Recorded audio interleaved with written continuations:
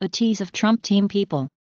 We very much respect the First Amendment and we understand that people choose to protest, Boris Epshteyn, communications director for Trump's inaugural committee, told CNN's New Day program. To succeed, it needs the right team. Israel, who has the most experience in fighting terrorism and the best intelligence, will be of great help and a willing partner.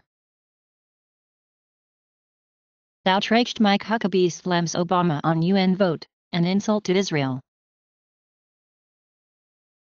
I'm confident that if I had run again and articulated it, I think I could have mobilized a majority of the American people to rally behind it, Obama said, referring to his 2008 campaign message of hope and change.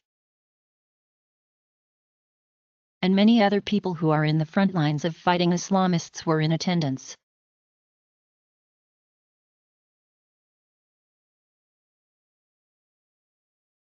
Thanks for viewing this tease.